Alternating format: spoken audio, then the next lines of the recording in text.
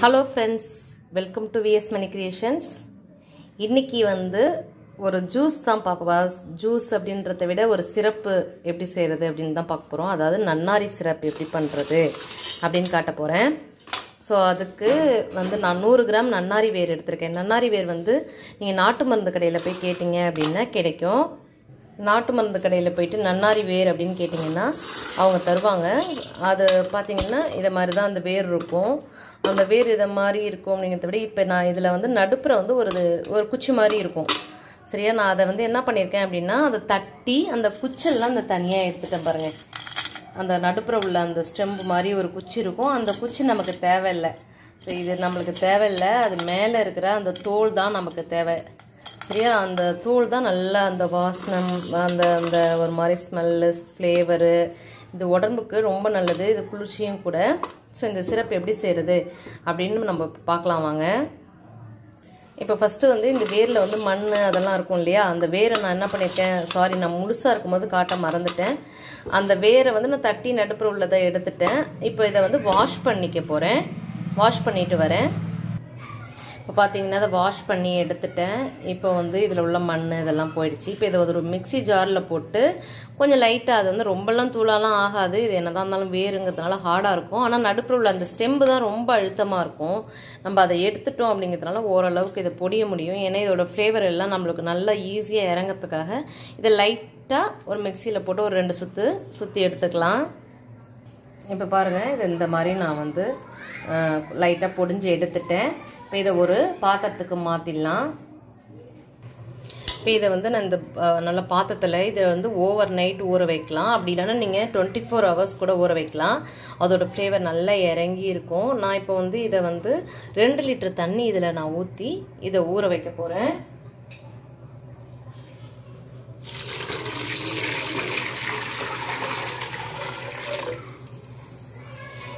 இப்போவே பார்த்தீங்கன்னா இதோட அரோமா அப்படியே நன்னாரி ஃப்ளேவர் செம்மையாக வருது நமக்கு.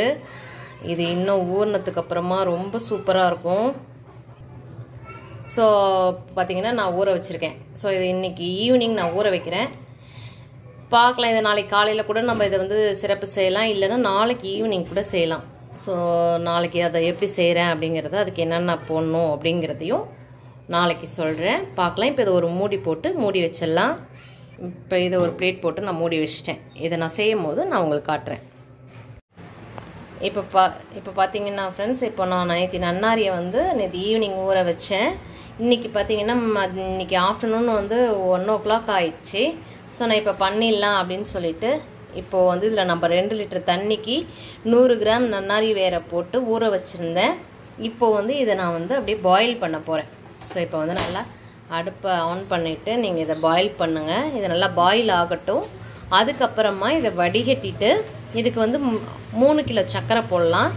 அந்த சர்க்கரை போட்டு அதில் இன்னொரு ஒரு லிட்டர் தண்ணி ஊற்றி இதையும் வடிகட்டி அதை கொதிக்க வச்சு எடுக்க போகிறோம் அதை எப்படி செய்கிறதுன்னு செய்யும் போது காட்டுறேன். இப்போ இது நல்லா பாயில் ஆகட்டும். இப்போ பார்த்தீங்கன்னா இந்த நன்னாரி வந்து நல்லா ஒரு பத்து நிமிஷமாக நல்லா கொதிச்சிடுச்சு. நான் இப்போ இதை ஆஃப் பண்ணிவிட்டு இதை கொஞ்சம் ஆற வச்சுட்டு வடிகட்ட போகிறேன் ஏன்னா இந்த சூடோடு நம்மளால் வடிகட்ட முடியாது. இதனால் இதை கொஞ்சம் ஆற வச்சு இதை வடிகட்டிக்கலாம். இப்போ இதை வந்து ஸ்டவ் ஆஃப் பண்ணிவிடுங்க இப்போ இந்த நன்னாரியை வந்து நம்ம இதில் வடிகட்டி எடுத்துக்க போகிறோம் இப்போது பார்த்தீங்கன்னா அதை வடிகட்டிட்டேன். வடிகட்டின சக்கை வந்து அந்த இதில் இருக்குது வடிகட்டின அந்த சிரப் வந்து இதில் இருக்குது இப்போ இதில் வந்து ரெண்டு லிட்டர் ஊற வச்சோம் இல்லையா? நாங்கள் மூ இன்னும் ஒரு லிட்டர் வந்து தண்ணி இந்த சக்கையில் வடி அலசி வடிகட்டி இதை ஊற்றிருக்கேன் இப்போ இதில் மூணு கிலோ மூணு லிட்டர் தண்ணி இருக்குது மூணு கிலோ சர்க்கரை இதுக்கு போட போகிறேன் நான் இப்போது இப்போ இதில் வந்து மூணு கிலோ சர்க்கரை போடுறேன். ஸோ இப்போ இதில் மூணு கிலோ சர்க்கரை போட்டாச்சு. இப்போ ஸ்டவ்வை பற்ற வச்சுட்டு இதை நல்லா நம்மளுக்கு திக்கான சிரப் தான் பாதிக்கு பாதியாக வத்துற அளவுக்கு சுண்டுற அளவுக்கு இதை காய்ச்சி எடுக்க போகிறோம் இது கொதி வந்தோன்னா ஒரே ஒரு எலுமிச்சம்பழம் இதில் பிழிஞ்சு விட்டுருவோம். ஒரு சிட்டிக்கு இதில் உப்பு போட்டுருங்க. அது ரெண்டும் வந்து நம்மளுக்கு ப்ரிசர்வேட்டிவ் மாதிரி இருக்கும். அதே மாதிரி அந்த ஜீரா வந்து உறைஞ்சி போகாமல் பார்த்துக்கும் அந்த லெமனு ஸோ இப்போ வந்து அதை கொதிக்க வச்சுட்டு பாதி கொதிச்சதுக்கு அப்புறமா காட்டுறேன். பார்த்தீங்கன்னா இந்த சிரப்பு நல்லா கொதி வந்துருச்சு சக்கரைலாம் எல்லாம் கரைஞ்சிருச்சு இல்லையா? இப்போ என்ன பண்ண போகிறேன் இதில் ஒரு லெமனை நான் இப்போ புழிஞ்சு விட போகிறேன் ஸோ ஒரு லெமன் இது மாதிரி கட் பண்ணி எடுத்துட்டு இதை வந்து நீங்கள் இப்போ புழிஞ்சு விட்டுருங்க. இப்போ இதில் ஒரு லெமன் நம்ம பிழிஞ்சிடுறோம். இது ஏன் அப்படின்னா இந்த பாகு வந்து அது எந்த பதத்தில் எடுக்கிறோமோ அதே பதத்தில் இருக்கணும் அப்படிங்கிறதுக்காக. அது இல்லாமல் வந்து இது ஒரு ப்ரிசர்வேட்டிவ் மாதிரியும் இருக்கும் அப்படிங்கிறதுக்காக. இப்போ பார்த்தீங்கன்னா இப்போ வந்து அந்த சிரப்பு வந்து பாதிக்கு பாதியாக கம்மியாயிடுச்சு. நல்லா சுண்டி வந்துடுச்சு பார்த்தீங்களா வீடே அப்படியே நன்னாரி ஃப்ளேவரோட ஸ்மெல் அப்படியே இருக்குது ஸோ இதை ஆஃப் பண்ணதுக்கப்புறம் இன்னும் கொஞ்சம் திக்காகும் இங்கே பார்த்தீங்கன்னா இது கொஞ்சம் நல்லா பிசு பிசுன்னு வந்துடுச்சு.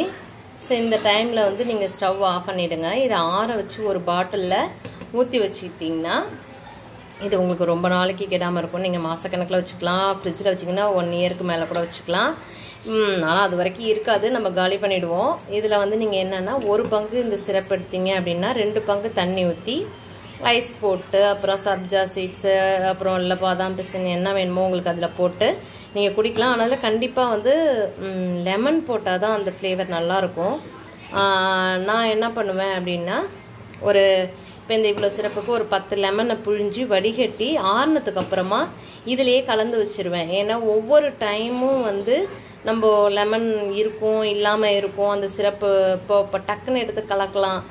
ஆனால் லெமன் புழிஞ்சி கலக்கணும் அப்படின்னா நம்மளுக்கு கொஞ்சம் சோம்பேறித்தனமாகவும் இருக்கும். அந்த டைமில் லெமன் கூட இல்லாமல் இருக்கும்.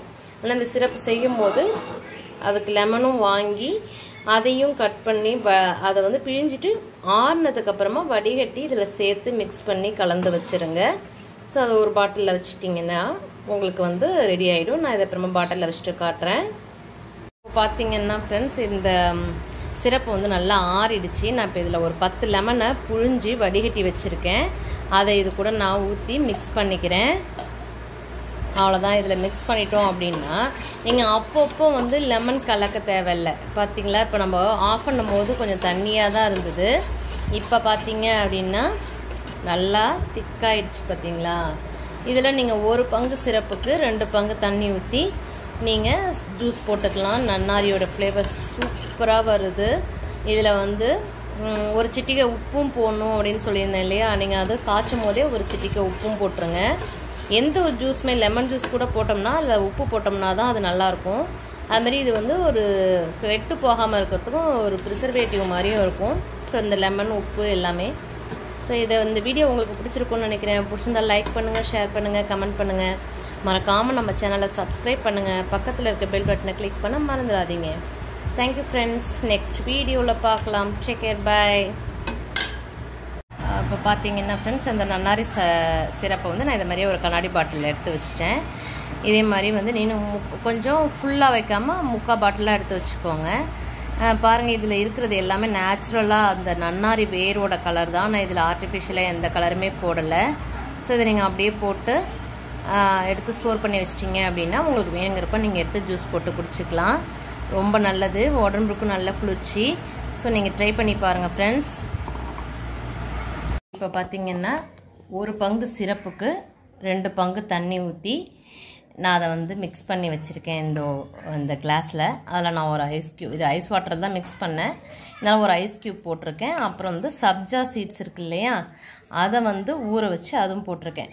ஸோ உங்களுக்கு வேணும்னா நீங்கள் பாதாம் பிசின் போட்டுக்கலாம் இல்லை சியா சீட்ஸ் போட்டுக்கலாம் மேலே ரெண்டு புதினா இலை போட்டுக்கலாம். என்ன வேணால் போட்டுக்கலாம். நம்ம லெமன் இதுலேயே புரிஞ்சிட்டதுனால இது டைரெக்டாக நீங்கள் அப்படியே மிக்ஸ் பண்ணி சாப்பிட வேண்டியது தான் ஸோ இப்போ நான் சாப்பிட போகிறேன் நீங்களும் சாப்பிட்டு எப்படி இருக்குன்னு சொல்லுங்கள் தேங்க்யூ